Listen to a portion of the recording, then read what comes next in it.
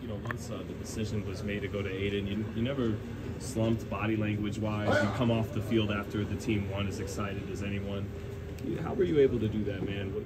And yeah, just go about your business that way. I, I've been in some weird situations around uh, the NFL, so it's uh, I know it sounds cliche, but I'm really just about the team winning. Uh, I know everyone thinks that's just uh, tongue in cheek, whatever, but I really just uh, I care about winning, man. I love winning. Build relationships with these guys. They become like brothers to you. Uh, you start pulling for each other. I think that's a big part of this thing, and that's just who I am. So I'm not trying to change that anytime soon. Obviously, the season didn't go uh, the way you had planned or hoped for personally. Uh, but what are your reflections uh, of this season? I've been trying to think about it the last 12 hours or so. Last night, just sitting there with the brothers, uh, reminiscing. You know, it's when you're in the middle of it, it's it's a whirlwind. You can't really smell the roses too too long, or you get caught up in it. And uh, I don't know, just reflecting. Built a lot of cool relationships. This building, uh, the players obviously, but just the people in this building. It's a, it's a cool building. Good people to be around. Uh, and that's the stuff you carry with you, man. Uh, that's the stuff. You know, you look back on the season and little moments here and there, fun stuff, and yeah, I loved it. It was it was a weird year. Don't get me wrong, but I loved every minute of it. You said you said the other day, Jimmy, that don't you know you never know what the future is going to hold. But on a personal level, what do you want going forward at this point? Uh, I just want to get back to playing. Honestly, uh, that's why I play this game. Like I said before, I love to win. It's what I've honestly what I think I'm here for is just to go out there and get wins as a football player. Uh, I don't know. It's something that you got to embrace. Not not everyone wants that. Some people just want statistics and things like that. I really just want to go out there and win. Uh, I really enjoy doing it. It's, it's, what we're here for. I know you're never going to use any excuses, but um, how good was the foot this year, and, and was it was a transition going into the season with the foot? Uh, it, it was tricky. It was tri- it was, diff- it was different than uh, any injury I've had in the past. You don't realize. I mean, you're on your feet obviously all day, and it's just a little thing that nags you. And so it was tough throughout training camp. I can't even lie, but we got to a good point where uh, you know, started not even notice it. Really, last couple months haven't even thought about it. Uh, rehab went well, and finally feel like myself again. So that, that's a one positive to come out of this. Not going into rehab or surgery this offseason. That's that's big time. I was going to say there. I'm sure there is a silver lining that you're able to get healthy these last eight weeks. Oh yeah, yeah. The body uh, body's feeling great. It really credit to the strength staff. Those guys really helped me out. We got into a little different lifting program uh, just to key in the whole body and everything. And I'm happy with where I'm at right now. How was the season different once AP took over as the interim coach?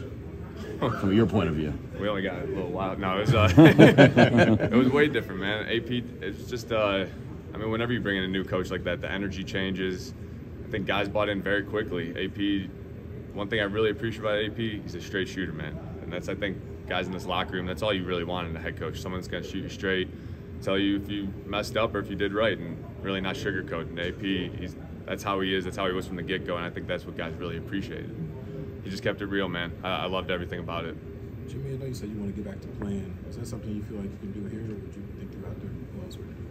Uh, I'm pretty open. Uh, you know, a lot of things are out of my control. Uh, I've been in situations like that before, so Flair just got rolled with the punches a little bit, and um, whatever happens, I think it all happens for a reason. Just got to make the best of your situation. That's a, that's a big part of this whole NFL thing. Is you're gonna be dealt the cards you're dealt, and you just gotta make the best of it.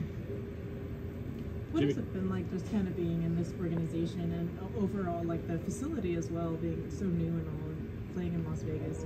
It's been top notch, honestly. Travel, where we stay, this building, like you said, everything's top notch. Uh, Mark didn't cut any corners, that's for sure. He, he he spent everything he needed to, and we appreciate him as players for that. You know, it's a, it's a little thing, but it goes a far way. Just uh, when the equipment staff, the strength staff are all working together, those little things add up throughout a long season. And Jimmy, what did you think of the job Aidan did, and what kind of future he could have in the league? Uh, you know, based on what you saw this year. It was impressive. Uh, I mean, just being a rookie quarterback in the NFL is being hard, it's hard enough to play, uh, let alone all the circumstances that were going on here. For him to deal with it, uh, he's a real level-headed kid. I think that's going to do him well in the future. He just got to know who you are in this league and, and be you. And he did a good job of that this whole year, and he, he stayed true to himself. AP just told us a little while ago that you and, and Brian also helped coach him up and help him. What did that mean to you to be able to at least help him as well? It was a different role. Uh, I've never really done that before, but you know, I, I, was a rookie quarterback one time in this league, and mm-hmm. I had guys help me out. Tom helped me out, uh, just older dudes in general, and felt uh, felt a responsibility kind of. I don't know, it's kind of a quarterback thing.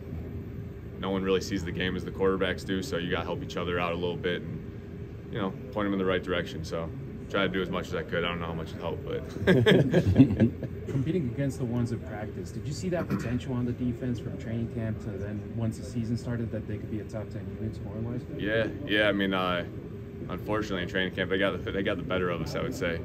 But uh, yeah, that scheme it's tough, man. I think PG does a great job of uh, scheming it up, and guys bought into it. They got smart players over there, guys that can do different things, and then you got Maxx disrupting up front. That's that's a hell of a combo. So yeah, I mean, we knew they were going to be doing good this year. I didn't know they were going to be that good though.